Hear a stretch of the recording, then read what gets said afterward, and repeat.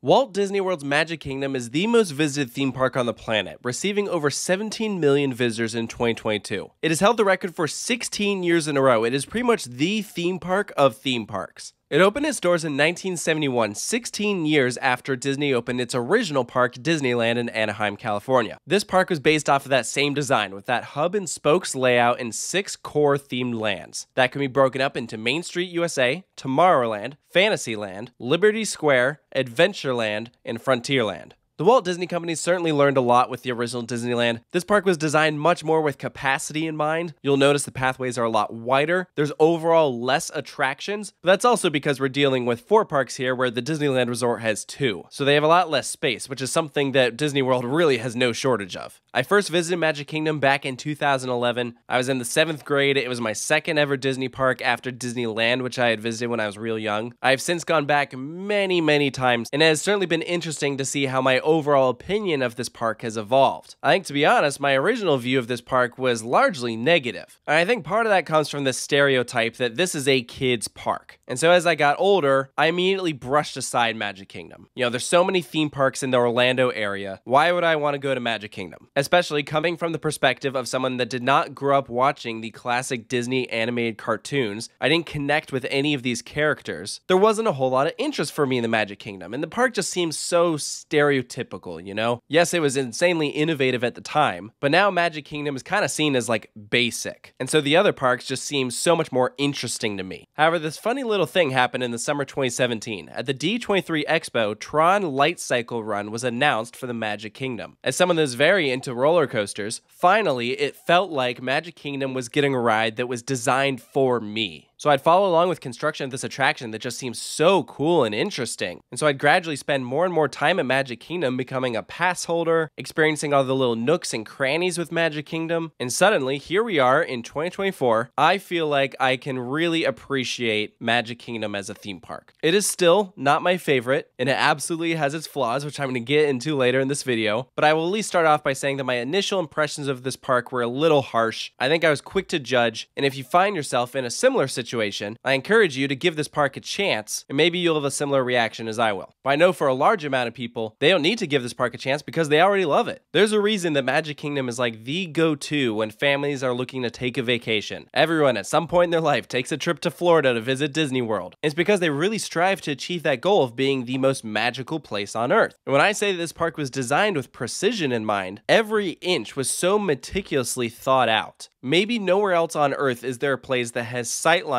so perfectly crafted like Magic Kingdom. Their goal is to just perfectly immerse you in this world, and they're extremely meticulous about it. The entirety of Magic Kingdom is located on the second floor. Underneath is a series of tunnels called the Utilidors, allowing cast members to travel between lands. That way they don't break the continuity of looking at a place. That's why you never see a cast member wearing a Tomorrowland uniform in Fantasyland. That's like next level stuff. So let's walk through this park experience, starting first off with how you even get here. Well, Magic Kingdom is set up a little different than the other Disney parks. The Imagineers really wanted to make it a true journey. It's an experience in itself just getting to Magic Kingdom, and Walt was fascinated with transportation. So you're actually going to park about a mile away from Magic Kingdom, take a tram to the Transportation Ticket Center. This is when you can board a monorail, which will take you around the Seven Seas Lagoon, or you can ride a ferry across the water straight to the park. If you're coming from a resort or one of the other Disney parks, parks, you can bypass the transportation ticket center by taking a bus. They'll drop you off essentially at the front entrance to the park. Or if you're staying at the Contemporary, Polynesian, or Grand Floridian, you can just take the monorail. It does add to the anticipation just looking out the window and seeing the park skyline, but it also does make it kind of an ordeal and something that you really have to factor in when planning out your time. Don't be surprised if it takes you half an hour to get from your car to the park entrance. Visiting Magic Kingdom is a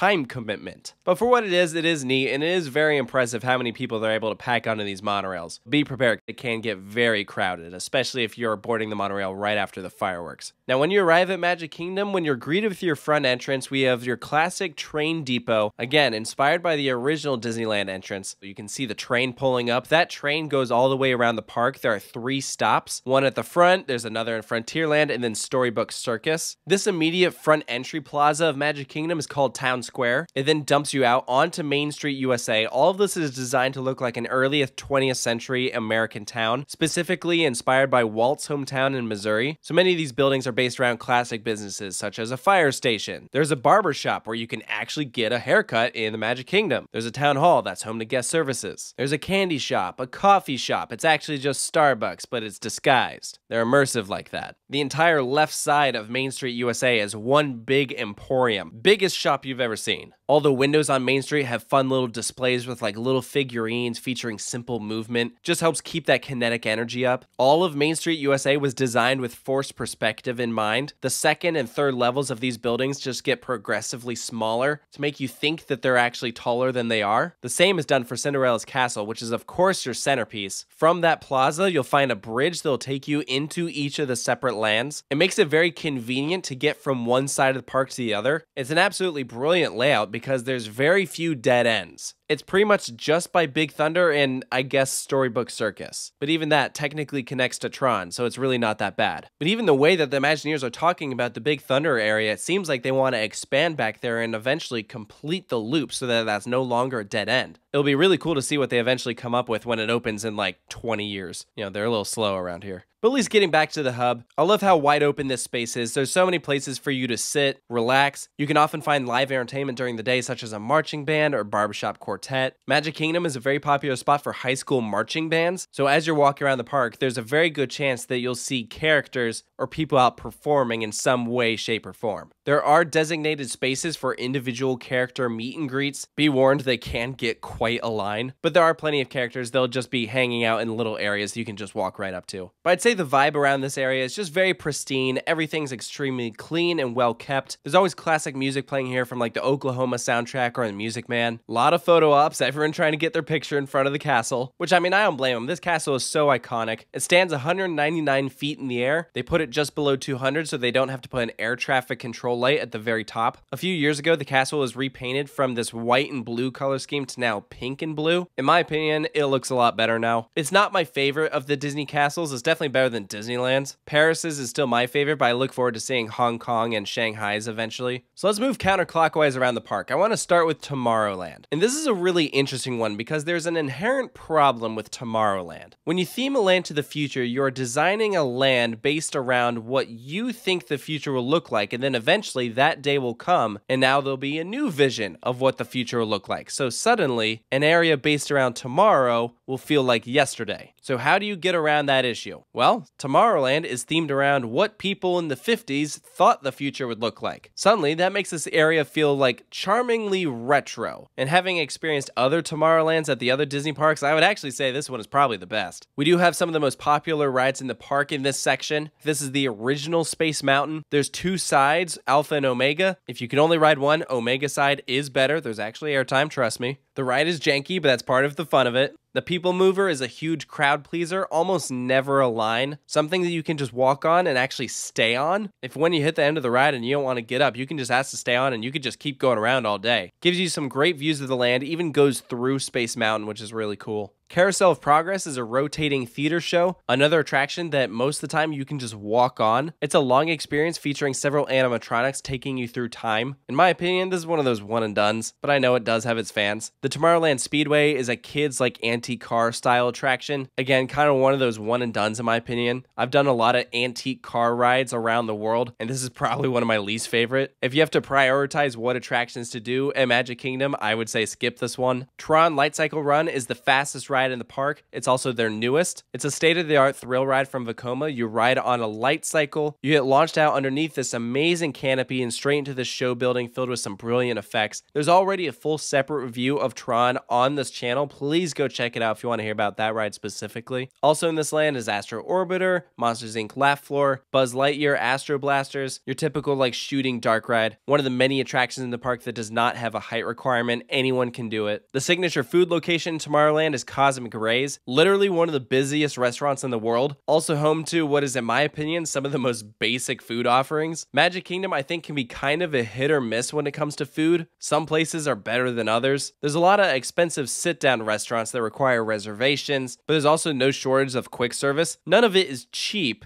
but I will say that I have been to parks that charge more for chicken tenders and pizza than Magic Kingdom. So it could be worse. I'll mention some of my favorite food places as we continue on. I want to transfer from Tomorrowland over to Fantasyland. This is probably the biggest land in the park. There is so much to see and do here, and it's really broken up into several different mini lands. Like literally right next to Tomorrowland is Storybook Circus. This was a replacement for Mickey's Toontown. They closed that to make way for a new Fantasyland, which was this big old expansion. It's why this land is so huge. So this was like a new subsection, which included a relocated Dumbo attraction. They rethemed Barnstormer, which is the kids coaster here. Yes, it's tame, but it only goes two miles per hour slower than Space Mountain. So just think about that next time you're riding it. Overall, this is an odd area in my opinion. I feel like Mickey's Toontown at Disneyland is a much better fit. I know this is really designed for like the young, young kids, but it's a section of this park that I always forget exists, not an area I ever choose to go in. Again, I'm aware I'm not the target audience, but the overall theme of this land is just a little strange in my opinion. I feel like they should have gone with something different.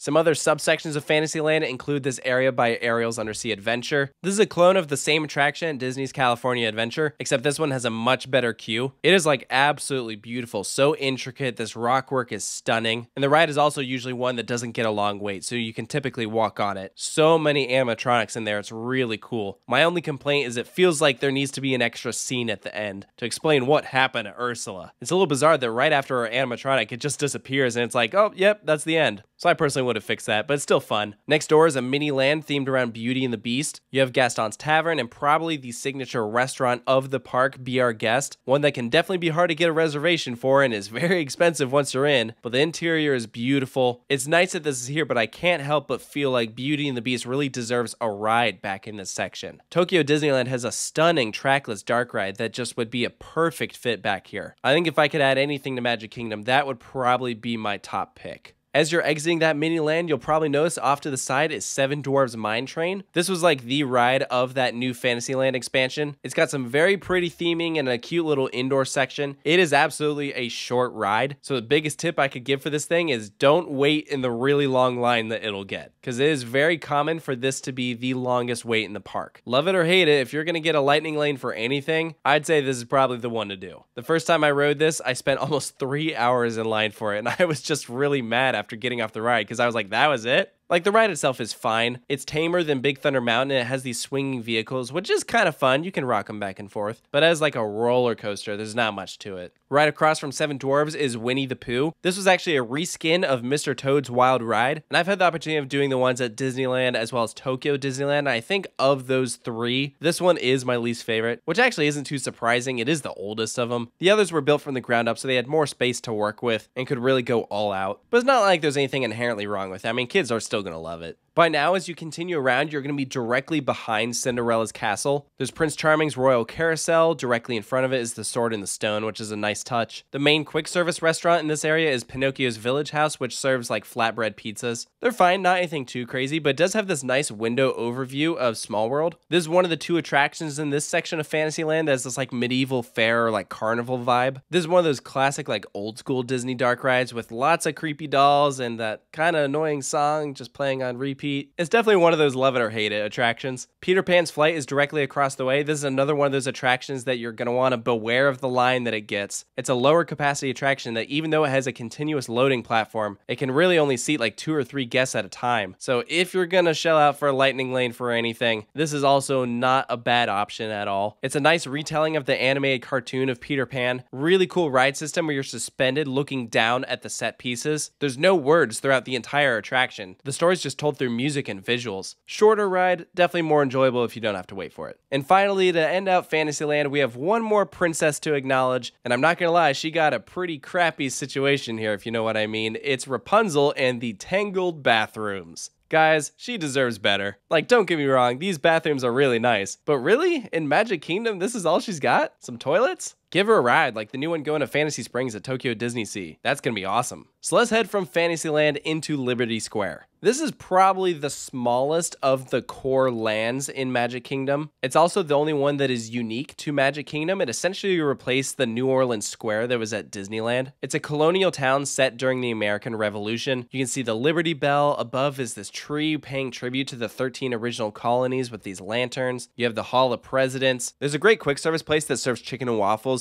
and at the Columbia Harbor House, you can get a full lobster roll or a New England shrimp boil. I'd like you to try and find another park that serves something like that. From Liberty Square, that's also where you can access the rivers of America and hop on the Liberty Belle showboat. They'll take you around the waterways, give you some nice views. The signature attraction here is Haunted Mansion, and this has always been a fan favorite. Of course, patterned after the original at Disneyland, this one has a much more intimidating facade, although personally I prefer the exterior of Disneyland's. But the show scenes here are just so well done. It's so creepy and cool in there. No visit to Magic Kingdom is complete without riding Haunted Mansion. So let's head into Frontierland. This is of course themed after the old American West. So you have like cowboys, Native Americans, horses. There's a great quick service location called Pecos Bill. It's like a fajita and nacho bar. In terms of attractions, we have the Country Bear Jamboree, probably my least favorite in the park. I know it has its fans, but I am not one of them. As you keep going around, you'll get to Big Thunder Mountain Railroad, another one of those rides that like, yeah, you can't go to Magic Kingdom and just not experience this. Several different lift hills, real long ride, some great theming. Personally, of the Big Thunder Mountains that I've done, Paris's is still my favorite, but this one's not bad at all all. Right next door is Tiana's Bayou Adventure, formerly Splash Mountain, and right across is the entrance to Tom Sawyer's Island. So this is where you climb aboard a raft and go out onto the rivers of America and are deposited right in the center. And let me just say, it's no secret the Magic Kingdom can get like disgustingly crowded. This is a perfect way to escape those crowds and just do some exploration. It's really an awesome hidden gem filled with some secret caves. There's this huge fort, great views of Big Thunder, and most importantly, it's quiet back there. If you're feeling overwhelmed at all and need to escape, this is probably the top place I would recommend going.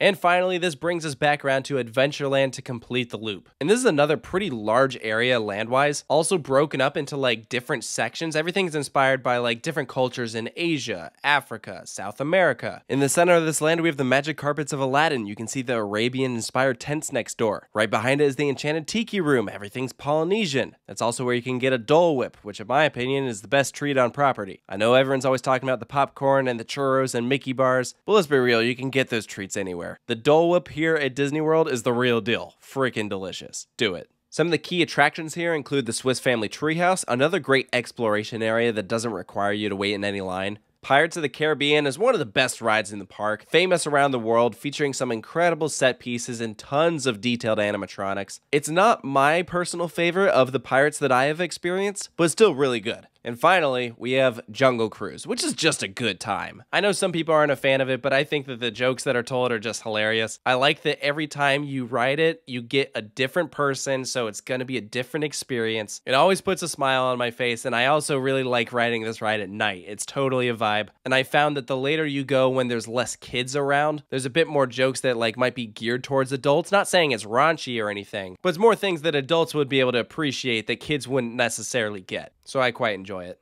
So there you go, your Crash Course Magic Kingdom. I may not have covered everything, but I tried to at least highlight the most important parts of each land, and there's still a few things left that I want to cover. First off, the Nighttime Spectacular. Happily Ever After is the signature show that takes place every night. There's projections on the castle and fireworks for like 18 minutes straight. It's a fantastic show, but beware of the crowds. This is the most crowded Magic Kingdom will get all day, and it is kind of a nightmare. What happens is, not only is everyone trying to see the same show and get the exact same view, so the pathways are really congested, but also many of these pathways are blocked off, forcing everyone into this one central walkway, and it's like impossible to move.